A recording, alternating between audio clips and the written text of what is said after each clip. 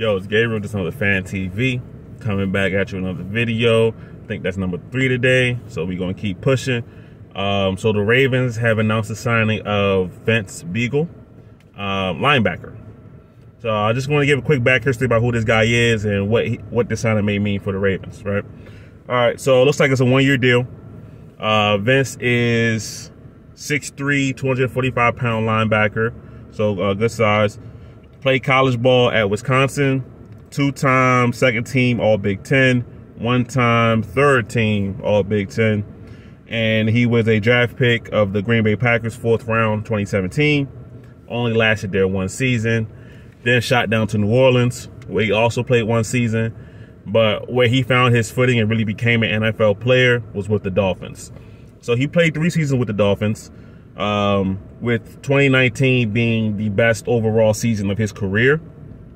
He played in uh, 15 games, started 10 games, um, registered 57 tackles, 32, sorry, 25 solo tackles, 32 assisted tackles, two and a half sacks, and also caught an interception.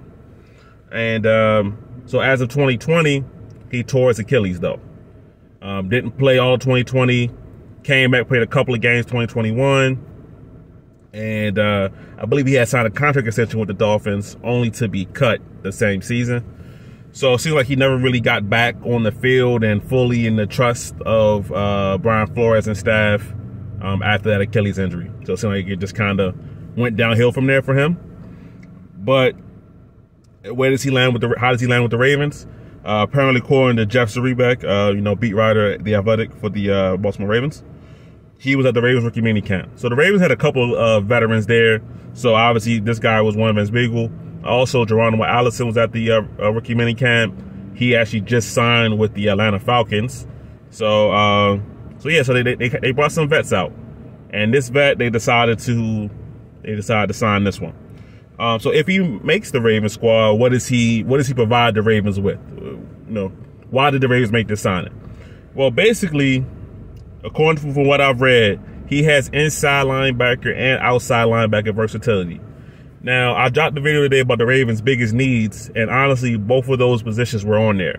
So if this guy can play both spots even at a decent rate, it's a it's a decent pickup for the Ravens. It's not I don't think it's anything game changing, moving the needle but it's a good pickup. So he can play special teams. I think that's where he that's what he did most of the time in his one season in New Orleans, and you know he'll fill in here and there uh, when I guess when some guys need a blow.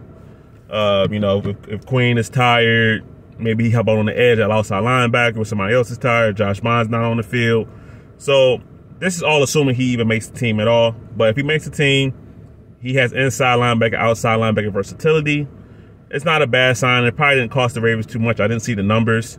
Uh, but assuming that it's a one-year deal, he's to have to work his way through camp and prove that he's actually back healthy from an Achilles injury.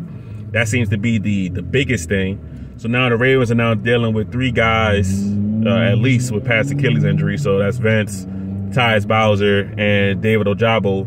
The last two are actually still out with those injuries. So Vince Vince is back. We'll see if he can regain some of that 2019 form where he played pretty well on the Dolphins team that wasn't expected to do too much. Um, they ended up winning like five games. They was 5 and 11 that season. Uh, so he played his role for that team he played well. Can he can he be that guy again for the Ravens? We'll see. Uh, maybe maybe he doesn't make the team. But you know the Ravens need to add bodies. OTAs coming up, workouts coming up, training camp coming up you need to have more guys in the building. You need to have more options out there. So uh, Vince uh, Vince Biegel gives the Ravens another option.